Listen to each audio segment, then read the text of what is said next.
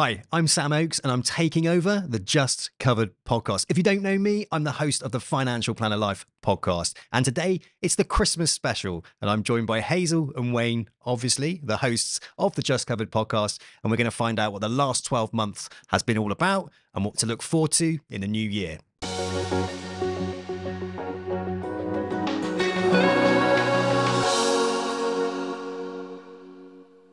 So, welcome to the Just Covered podcast. A bit of a switch around. I'm Sam Oakes from the Financial Planner Life, and we've been on this journey with you with the Just Covered podcast. And I can't believe it's one year, and we're celebrating it at Christmas by me being the host of the Just Covered podcast. So I get to interview the hosts to find out a little bit about you and the journey you've been on with the podcast. And we're going to talk about how the podcast has helped you in your jobs. Mm. Okay, brilliant. So, Wayne, first off, let's get to know you a little bit. So, Wayne, what is it you actually do? What's your what's your job role for those that maybe don't know? Yeah, so I'm an account director for Legal and General. I'm in the intermediary team, so I work with some of our biggest strategic partners on a day-to-day basis, looking at how we can implement strategies to make sure they can meet their aims and objectives. Generally, they, they're mutually agreed aims and objectives, which are all around ensuring that more customers, as many customers as possible, are covered you know, from a protection perspective.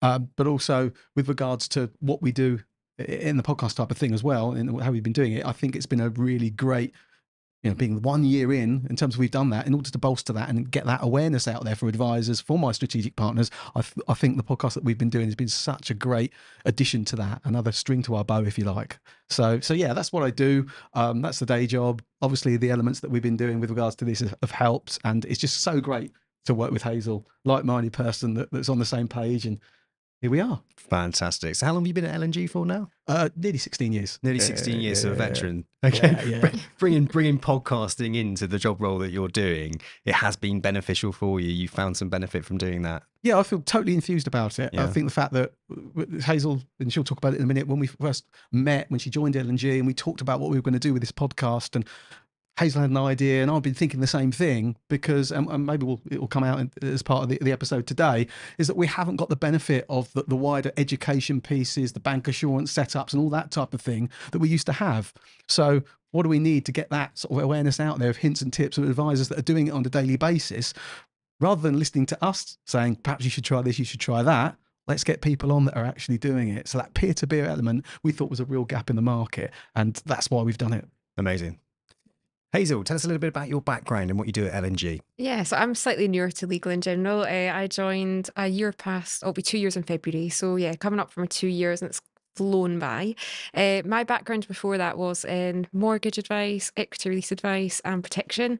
Um, I was a regional sales manager for mortgage, equity release, and protection advisors. So I have had advice and experience. I'm also qualified in financial planning as well. So um, my job at the moment with Legal and General as a market development manager is to really help advisors grow their market. So, um, as much as I'll help with Legal and General product, my main aim is just to actually get them to add protection to their process, whether they sell it or refer. Um, so, I can absolutely help with like business strategy, uh, webinars, workshops, anything that an advisor might want or need. Um, absolutely, the team I'm part of, we we help with that to grow that industry.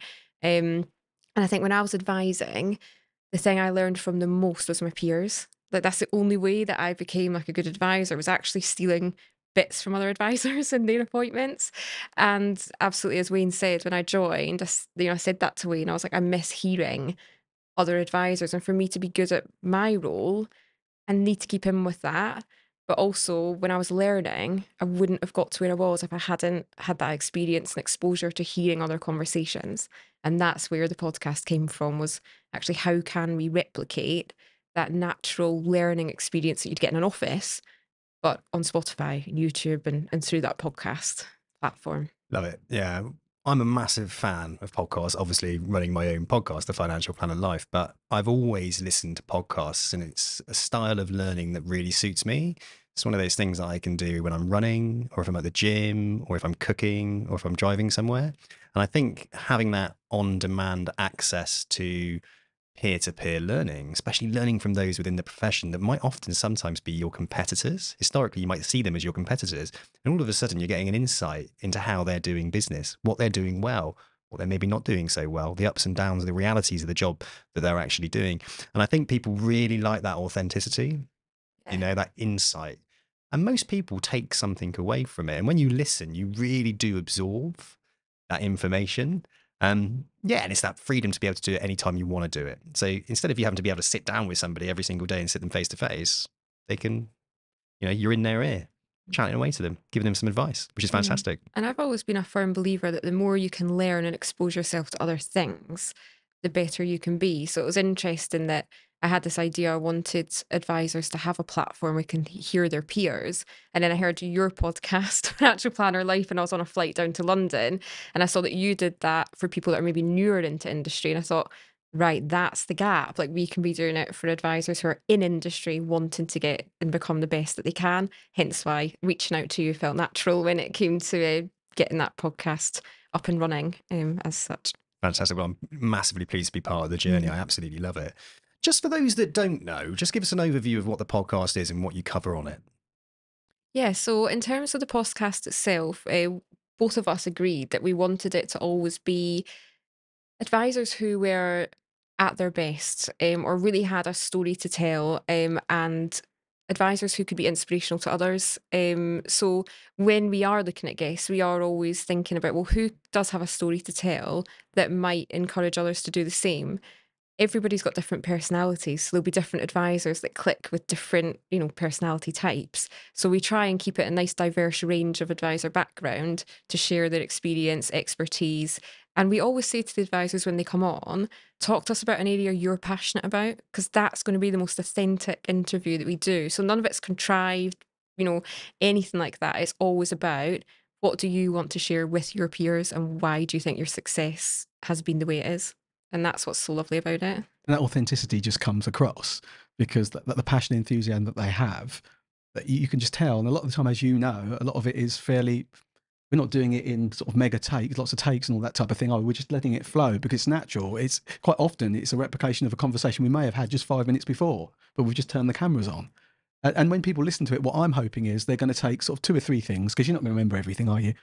From that and you think, yeah, actually, that's something I'm going to try out, or that's something I used to do, or something I knew about and I've never tried it. So I'm going to go and and, and do that.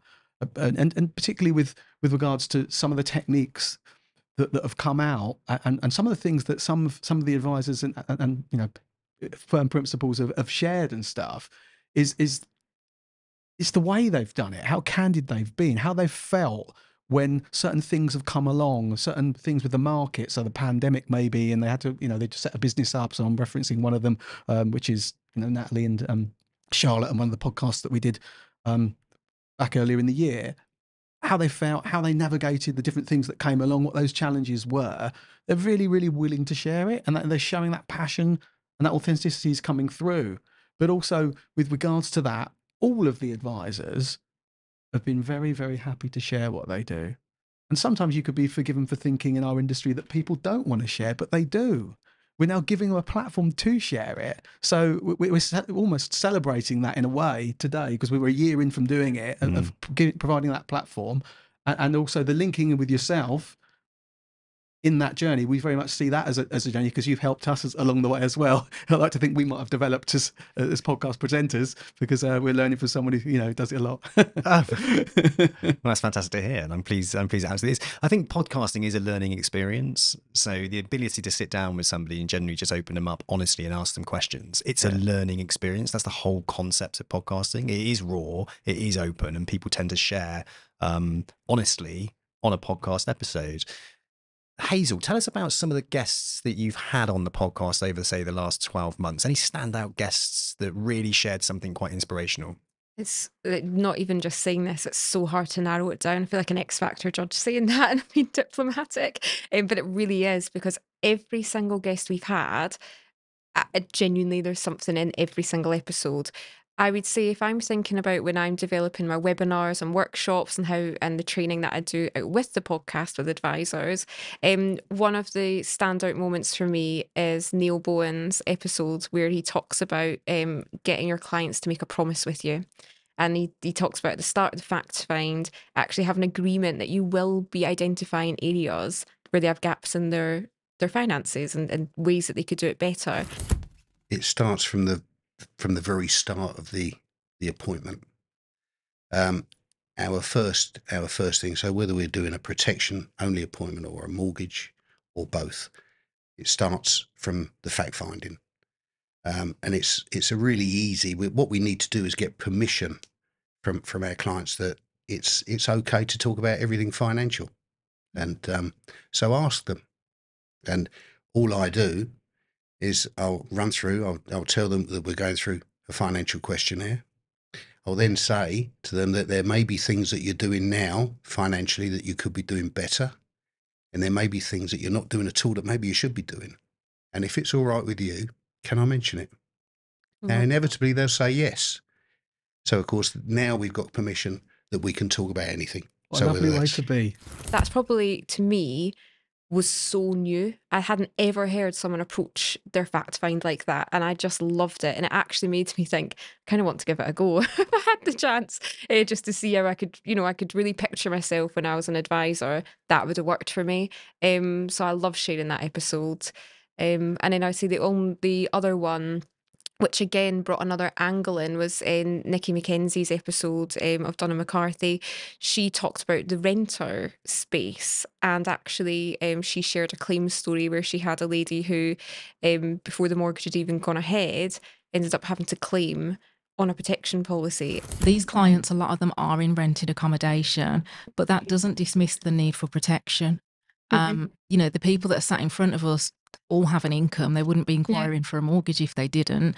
Um, you know, a lot of them have families, young children. So one of the things we've introduced into our process is um, advising and encouraging the client to book a separate meeting to look at protection options because just because you haven't found a mortgage, that doesn't mean that you're going to be any less impacted necessarily from the loss of your partner or the loss of your income. It's still just as important whether Yeah. you're rented or you It's own really Well, there's a higher risk, isn't it, for Yeah. a renter? It's, Exactly. Um, you know, and we try and encourage our clients to say, look, if something happens to you, your landlord isn't going to let you live there rent free. That's not no. how it works. We all know state benefits are not going to match a forty thousand pound salary, for example. So I think it's just about changing their mindset to mm-hmm. understand why they should look at it sooner rather than later. that's quite eye opening, I think, for a lot of advisors as well, because sometimes you think, oh, if the mortgage isn't going ahead, there's no work that needs to be done. And actually, you've got a really big opportunity there to look at their protection needs. And that's one of the things I think I've learned myself as being a podcast host is everybody's got a different way and a different approach to doing something. So you're talking about the fact find process. Now, over like 150 episodes I've done so far with different financial planners, all in different roles. Some of them employed, some of them self-employed, paraplanners, administrators.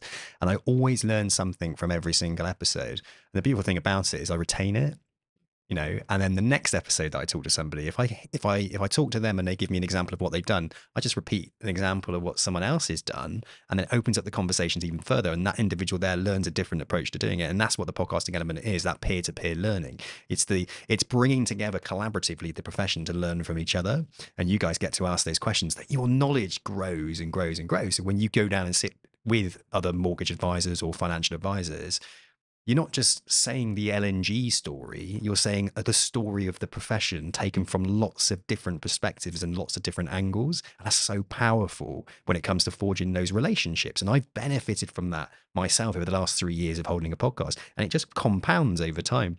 You tend to get more and more knowledgeable. And it's um it's a really powerful way to build deeper relationships. And the beautiful thing about it as well is you can share those great clips, can't you? You pop those clips out on your social media, you get it out on LinkedIn, more people see it, more engagement, more people learning, a better profession overall. And that's what everyone wants at the end of the day that collaborative approach to creating a far better profession. And that comes through that amazing peer to peer learning. So, Wayne, you mentioned Charlotte Bates and Natalie Wilcox. Was that one of your standout episodes? It was, yeah. They managed the firm Bates Wilcox, and yeah, stand-up moments for me was really the fact that they opened up a business. I went out on their own. They took a leap of faith, if you like, because they weren't sure about it, as a lot of people aren't when they, they move out into the the big wide world of of managing their own business. And then the pandemic came along, and they just had to pivot straight away, as lots of people did, as L&G did, obviously. And things that went through their mind, how they had to look at their processes, and how they had to rework everything was really put to the test, particularly around, I think, their mindset around selling protection on the telephone. So uh, I think they were pretty cautious at first whether it would work, whether they'd have you know the right skills, and whether the skills that they had would actually just transfer to the telephone. The attitude that we took, it was like, well, we're not going to get help elsewhere, so let's just get on with it. And uh, luckily, we are surrounded by some really good people and some like the national developers and everything phoned us up, made sure we were all right. You know, we're we're very lucky with our connections, I think, and that kind of helped, didn't it? Because then we were like, okay, fine, we've we've got this. Yeah. And we had our best month. We did. We had our best month ever. So Yeah. I think it was in the April, wasn't it? So just after we'd gone into our Yeah. into lockdown, I think because it was that whole sink or swim, and we Mm. were just like, we are not. We're not losing everything over this. We have to make this work. And yeah, we had our best ever month. So we were like, we've got this. Come on. And from that episode, I just took that, you know, you have that dogged determination and enthusiasm to just get on and do it. And like you say, take that leap of faith and maintain that positivity that you've got and also processes as well. You'll get there. So, what was good with the way they worked is Natalie, uh, she admitted herself, she's she's more of a numbers person and she managed of that side and the process side of things. And then you've got um, Charlotte that did more this sort of HR side, the people side, some of the marketing, all that type of thing. And they were just a formidable double act, which was great and, and lovely people at the same time. So yeah, it, it took a lot fro- fro- from that. Uh, and then also as well, Nicola Crosby. So I think she was episode three. Uh, she's a wealth planner. And uh, she just demonstrated that resilience of, of, of being a long time in the industry. In historically, as we know, tend to be male male dominated um, and and she just sort of gave a quite, like I said, a candid approach with regards to her own life story, um, some of the personal elements that she's got with regards to her family as well, and and how that sort of determination that she's been able to show, uh, and and show the caring side of her for her clients. So the way she builds those deep relationships, really gets to know her clients, really goes over and above and, and helps them with practically anything that they want help with from a financial perspective and more has enabled her to really get sort of kudos in the, in the industry and, and uh, No, I think they should have that experience. Mhm. I think um, protection is probably the most undersold thing in, in the marketplace. There's still that kind of misconception that claims don't pay out. Um, I think honestly, protection is an easy thing to sell if we're going back to being a because ultimately you don't get paid if you don't have a product, do you?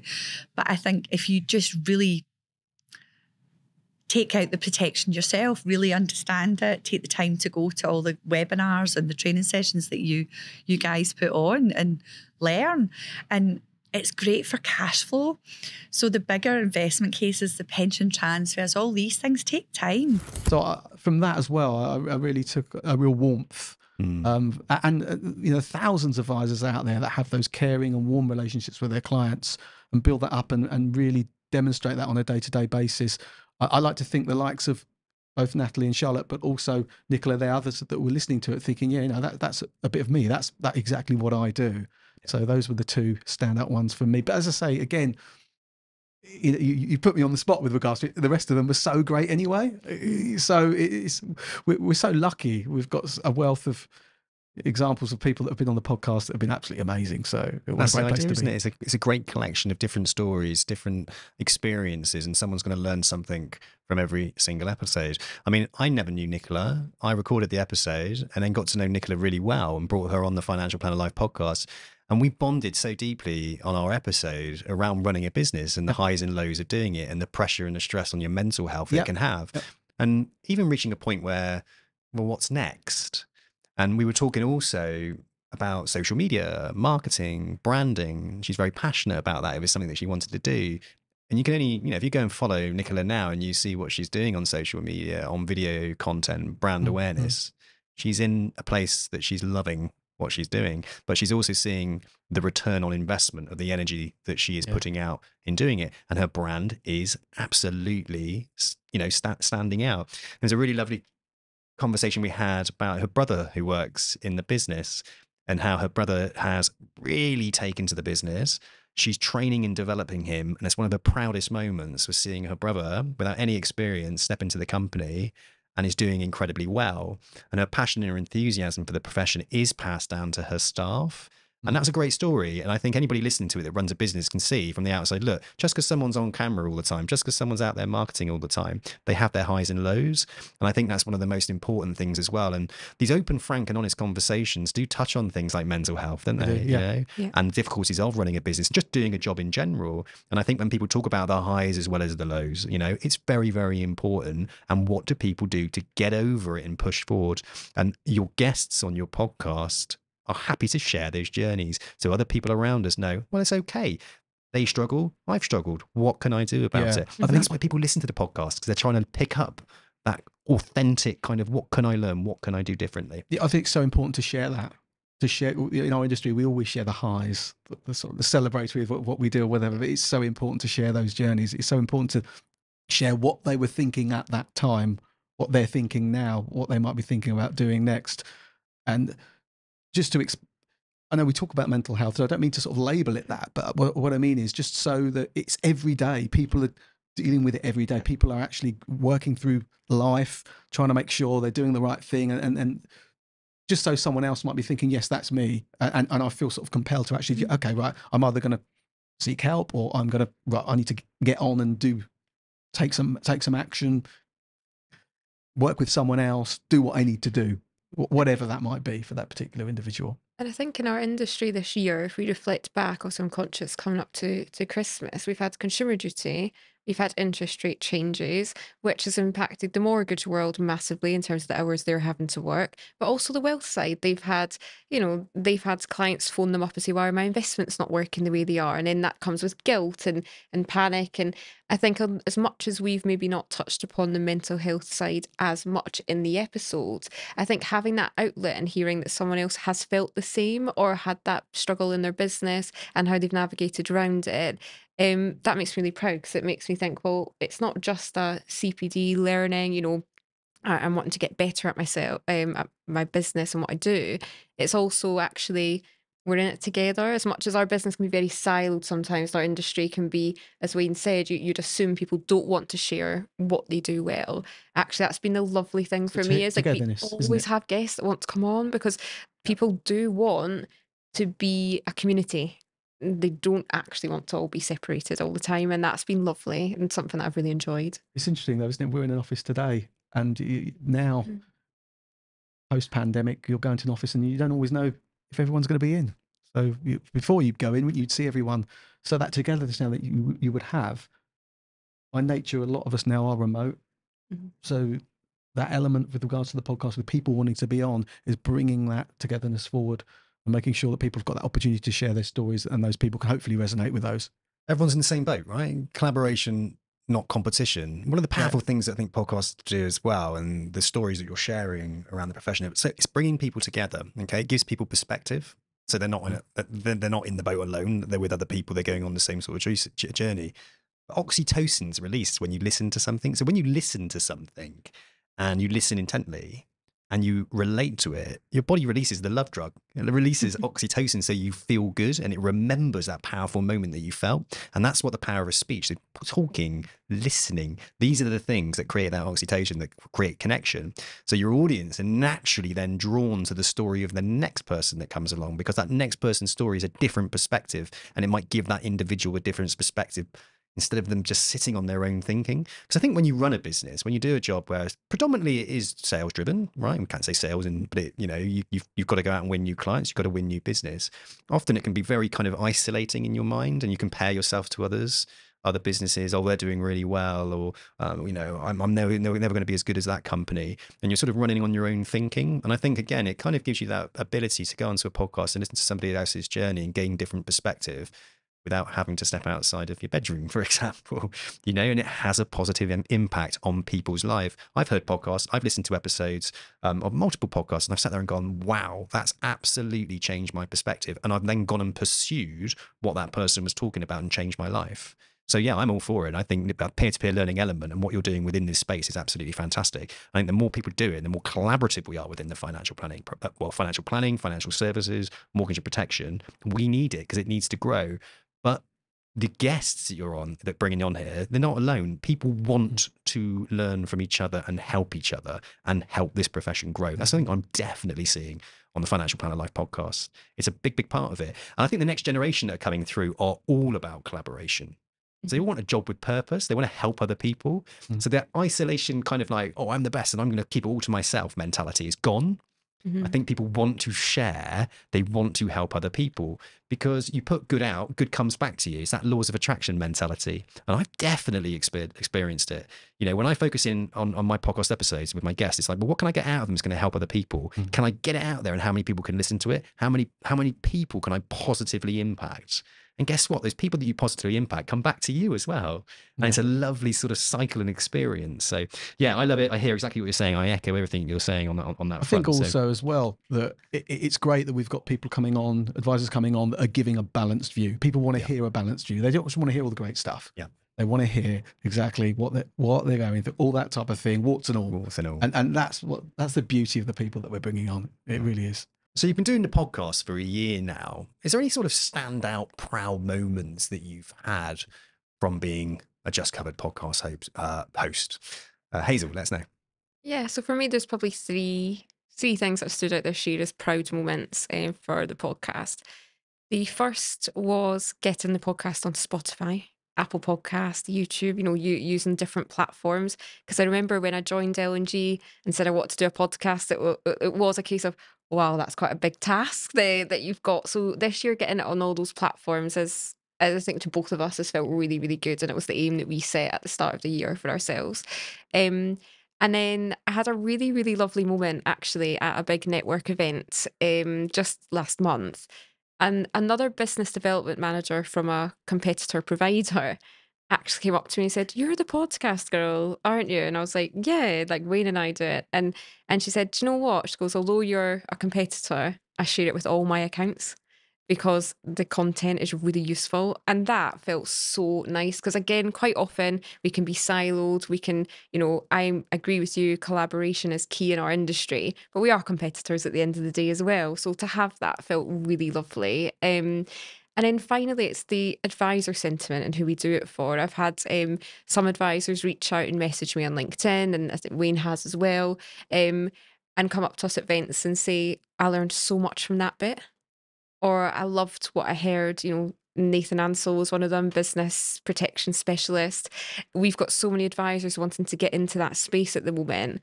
And I've had advisors come back to me and say, that really helped me know not to give up and to keep trying to approach these accountants and solicitors. And that's so nice. And that's the whole purpose of it being met. Uh, which feels great. From you, you know, you've got a wealth of experience that you've found the same, but you've overcome it Yeah. and, and been patient with that. Yeah, and I think it, it's taken a long time to do that because it is breaking that barrier down of speaking to a company, learning, uh, getting their trust, really gaining it, and then from there it is oh that is value I can add to my clients because it is really tough. I think to not seem like just you're trying to sell, sell, sell to people. Yeah. It is actually a service you're offering that does benefit them and their clients. So it's a win-win for all. No, that's fantastic. What I love about also putting it out onto the different platforms that are out there is that there's a new audience that are going to be listening to it.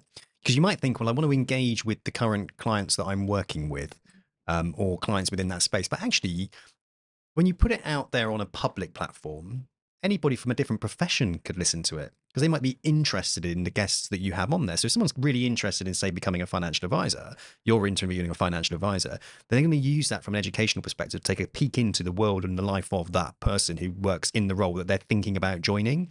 So again, when you put it out there on those major platforms and make it public, you're indirectly sort of, well, directly, I suppose, impacting perhaps somebody's life when it comes to their career because you're sharing a story of somebody that works within the profession that they're thinking about joining. And that's what I also love.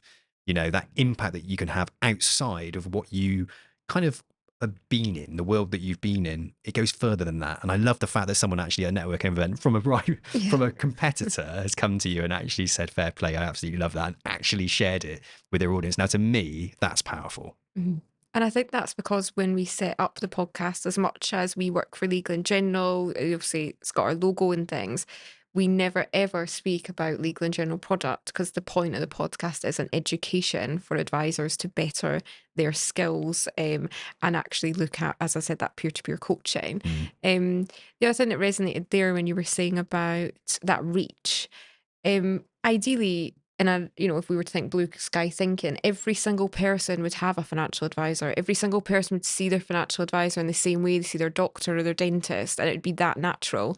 The only way we can grow our industry and grow that awareness externally is to actually have that peer to peer support be doing things like this because again a, a, customer could come across these and actually think oh that advisor sounds great or you know, maybe I don't understand all that they're saying, but I need to think about that for my business. And, you know, that is where it also is, is really nice to think it's actually just hopefully raising the awareness of the need for financial mortgage and protection advice in general.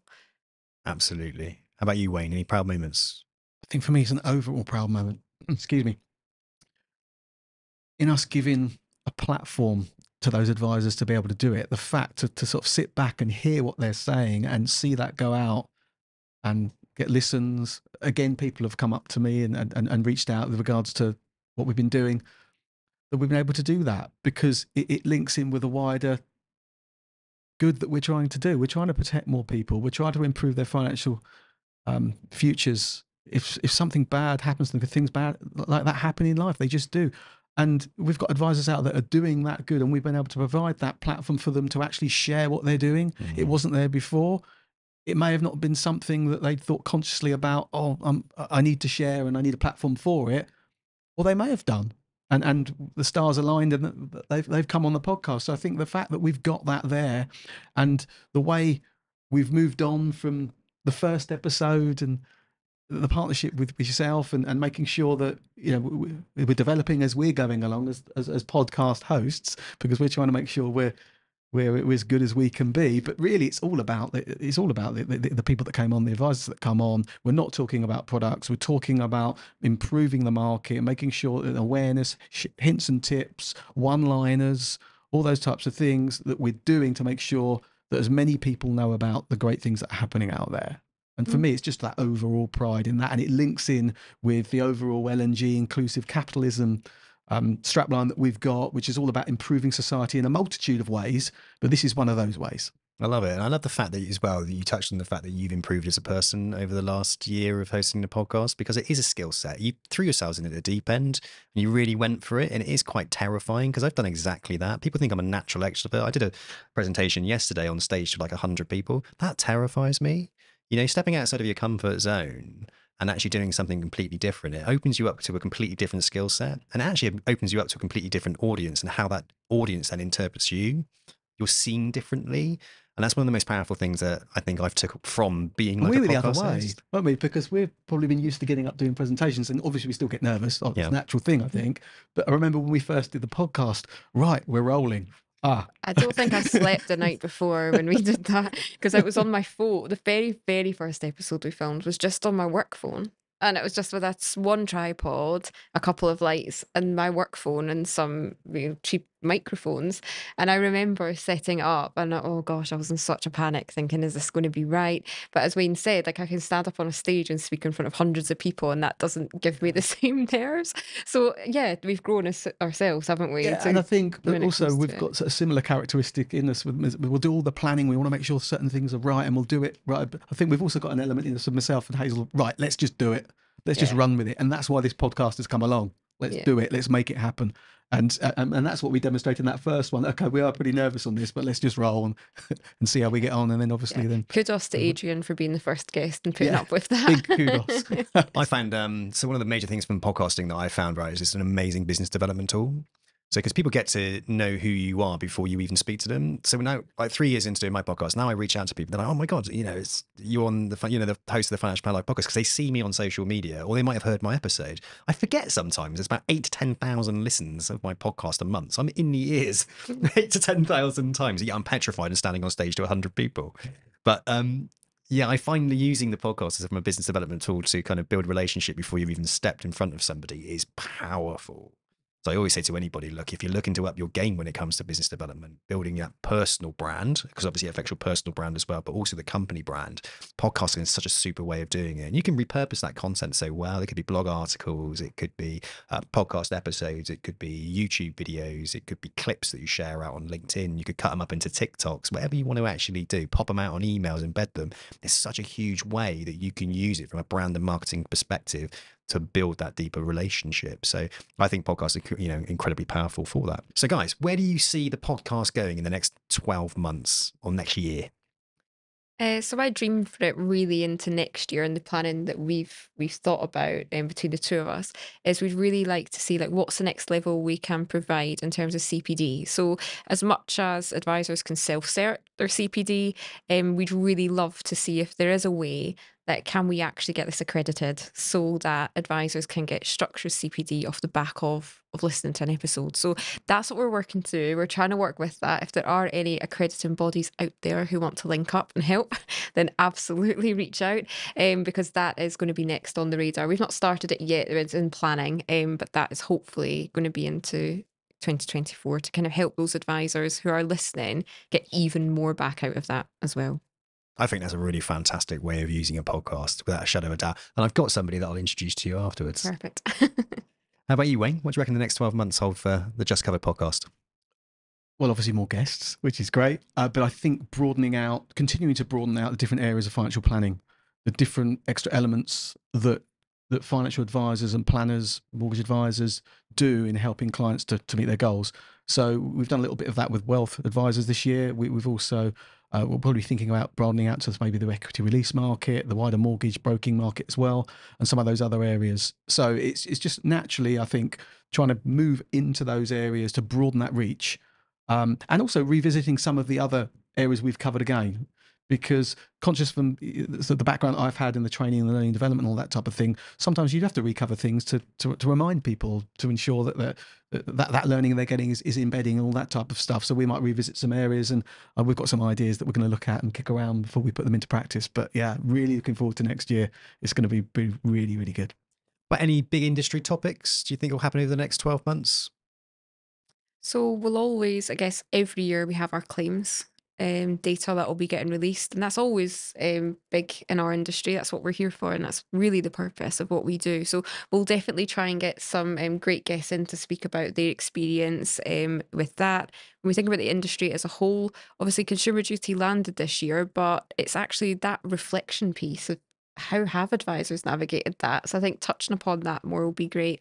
And then, as Wayne said, equity release is a massively growing area and a consumer trend, especially with Bank of Mum and Dad research we've done recently. I think it was 47% of homeowner or people buying a home under 55 needed help from their friends, family, relatives. So again, tapping into that space and thinking about how do we make sure financial advice is still right when people are maybe not able to borrow as much as they used to. And that's really important um, for our industry going forward. Yeah, equity release is going to be a big one, isn't it? Mm. Yeah, I've been thinking a lot about that. There used to be loads of equity release advisors. I wonder if people are going to start becoming because you have to be qualified to be an equity release advisor. Yeah, there's an you? extra exam Yeah. um, that you have to do. So I did that quite a few years ago now. But yeah, it's a shorter exam, but it is yeah, it's an extra exam. There's there's extra things you need to consider with regards to vulnerability as well of your customer. Um, like the Equity Release Council have certain caveats as to what they'd expect. A bit- a bit of a heightened fact find around that that Because advice. vulnerability, the client vulnerability is a massive thing, isn't it? Because it's it's wide open for clients, perhaps of a certain age, to be manipulated into releasing that equity. Or, or it's yeah, it's even if it's not a case they're manipulated, their family would maybe not understand why they've done it, and why they've chosen to do it. So it's, it's getting the family involved as well when you're looking at that advice space, which again is completely different to any other advice space that that we operate in. Really, Well, I'm really looking forward to hearing more about that over the next 12 months because it's a really interesting topic. Excellent. Yeah. The consumer duty side of things, again, we will, will continue to revisit because it's something that's going to be ongoing since its implementation in July. It's certainly not a once and done. It's just getting in and finding out how advisors have changed their processes, what they're doing differently, what, how are they helping customers with a vulnerability perspective? Because if you're thinking about that and you're thinking about putting clients first and trying to make sure that you're ensuring those good outcomes, you need to be taking a step back and looking at your process to find out, okay, what could go wrong? Where could they misunderstand things? How am I checking and testing they've understood what I've recommended to them? How am I making sure that they know where to go if something happens? If they have a claim, how do I help them with regards to making that claim and ensuring they need to get out of that what they need to get, i.e., the money paid to the right place at the right time and all that type of thing. So I think tho- all those types of things bring brought together for next year, like the claim stats, as Hazel already mentioned, will will be in line with that and, and, and crucial. The consumer duty is here to stay, and it's something that uh, we'll be talking about a lot, I think, going forward. To implement customer duty as a course of action naturally without it being forced upon you. Um, so if you're looking at a client's situation, because if you've got long-standing clients and you can look at your situa- their situation, the way I always see it, whenever I'm meeting a client, it's my duty to make sure that I've taken some level of responsibility to make sure they're going to be better off from taking advice from me. I think it's just building your confidence. If you become confident in your skills and your ability, um, I think I suffered from imposter syndrome really badly until about five years ago. And then one day I woke up and I thought, I'm as good as everyone in this room, if not better. And then you've got to remember that because the confidence really comes back through to the client and they don't question your advice. They know that they're in safe hands. So finding what what will help you get to that level where you feel confident and I think for me, it was working on a variety of different things, really pushing my knowledge, really building those deep relationships with clients, you know, and pushing my boundaries, finding things that were hard to do, finding out how to do them. And then one day you go, actually, I'm like probably at the top of my game now. And and I've worked hard and I'm going to enjoy it now. And anyone that's watching, I don't it's not scary. Like it's not just do the CPD, um, put the hours in and then you'll get there. And if anyone is just starting out, I would say relevant life is probably the easiest quick win. It's not complicated. It's just putting the um, limited company paying the policy, not the person. And it's allowable business expense. So accountants will be happy to hear that. Um, and I was also executive IP. Absolutely, yeah. Wayne, you're exactly right. If you don't want to write, that's okay, yeah. but just make sure that somebody does it then. Yeah. because yeah, I think like you said, we said earlier, the last thing you want is that phone call from somebody mm. to say, nobody told me this, nobody made me aware of this. That's just not what any advisor wants. I think uh, value yourself mm. uh, is one of the things that we would definitely, you know, put forward because I think a lot of advisors do undervalue themselves um, and their knowledge. I think, and unless you believe in it yourself, you're not going to be able to to help other people with it anyway. But also, you don't need to have loads of knowledge on every single product out there. You know, a lot of people think that they need to know every critical illness policy there is and all the definitions, and and you you don't. You know, at the end of the day, the all you're doing really is put forward a need, and the client will tell you what the need is if you ask the right questions. So I think it's just a case of find find something that works for you. Um, if you've had a claim, then you'll find that that works for you every time anyway because you you know the need. But if you don't believe in yourself then you're not going to do it. But the mindset it is just mindset. Mm-hmm. so if you just have to believe it yourself and believe in your ability. And i do think a lot of advisors don't don't have that. And i think to be honest unless you believe in yourself nobody else is going to believe you so. No i agree. And i think for me it's you know any advice that i could could give to you know any advisor out there is how would you handle one of those calls like I took? And are you confident that you gave the client the opportunity to protect themselves, family, and their home? Because if you didn't, you need to, you know, you need to question what you're doing, in my opinion. and get good admin.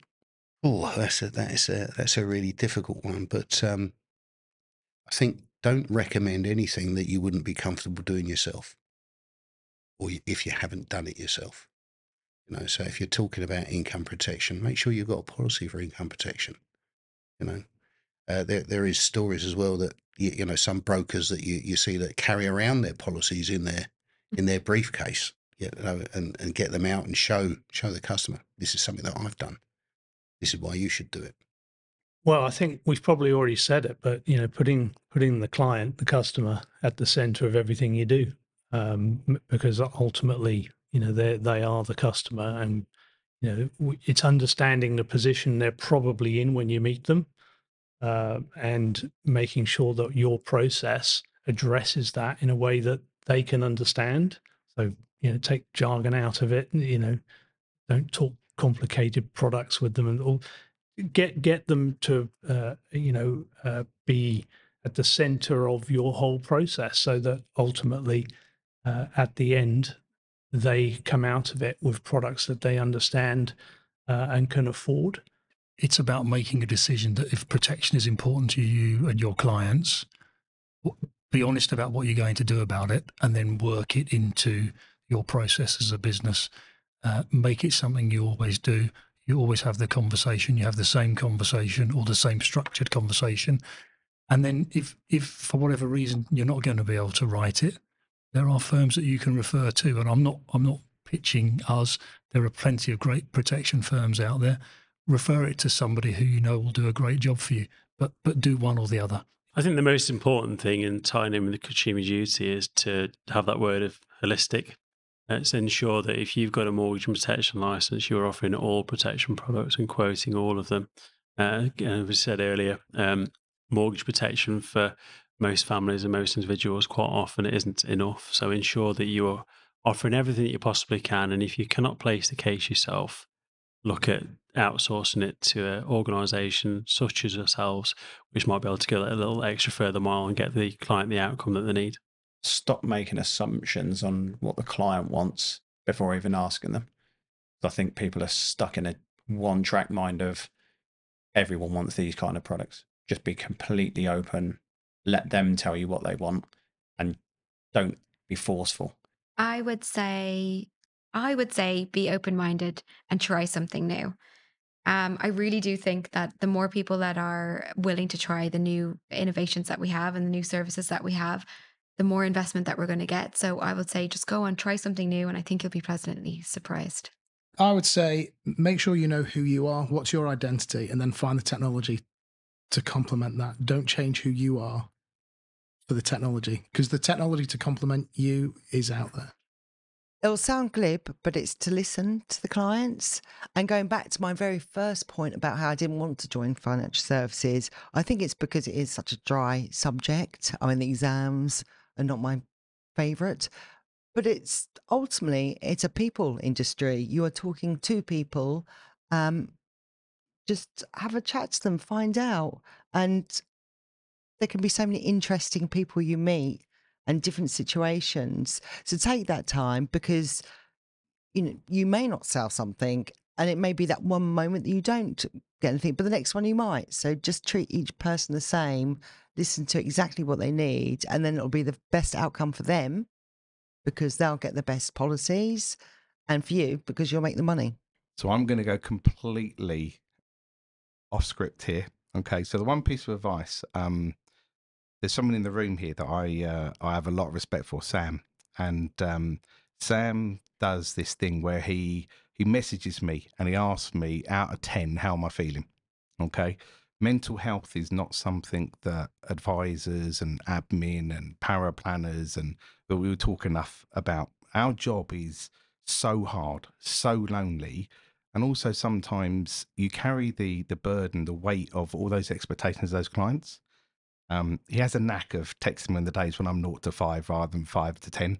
Um, and all I think the top tip would be for everyone just to to always message other people and just simply ask them on a day how they're feeling out of ten, and not be afraid of other people messaging them and asking how they feel out of ten. And I think it's our industry's tough, really tough at the moment. And I just think it's really, really important. So as a top tip, it's just not about doing more. It's just about, you know, caring about others, looking after others. Great. So, some fantastic guests over the last 12 months. What are some of the top tips that they've given you that you can share with our audience today? I've got one. Go on then. Yeah, Nicola Crosby, absolutely brilliant. It was it was just so good. These one-liners you have, and we we talked to them about people when we were presenting and stuff. But I just love it when an advisor gives you that. And if it's one you've heard before, great. But if you haven't, and she said, uh, and I think it was, don't just protect your health. No, don't, don't just protect your wealth. Protect your health. And I just thought that was amazing. You know, if you're a wealth planner out there and you're thinking about how am I going to do that? Customers got a big portfolio. How am I going to actually get the concept of protection in there? You could use that line you know, signpost it, whatever, as well, provide context. But you can use that line to then talk about, oh, okay, the customer might say, well, what do you mean by that? And the next thing you know, you're into a conversation about protecting their health and their wealth. Fantastic. It draws into well-being, doesn't it? Which is such a big thing at the moment within the financial yeah. planning space, without a shadow of a doubt. You know, uh, financial well-being, but as you say, health is wealth. Yeah. How about you? Uh, for me, it was something that I'd never come across before. Was Sora Keo, um, when she was in the tech episode, mentioned uh, a data prisoner. That was something that I'd never ever heard of. So for those listening, it's uh, if you have decided to use a specific tech company and actually they now own your data, actually, how do you get your client bank back out again? And uh, I thought that was really valuable advice for advisors looking to explore the, the world of tech because it's probably something I wouldn't have thought about uh, when doing it. So um, she absolutely, in that episode, talks through why it's so important to really sense check your contracts when you are looking for kind of firms to to collaborate with in a tech space. And I thought it was really good advice. That's really interesting. I had a guest on my podcast, and he has he's, an, he's a chartered financial planner, but he's got his own YouTube channel. So he creates content um, from a coaching perspective.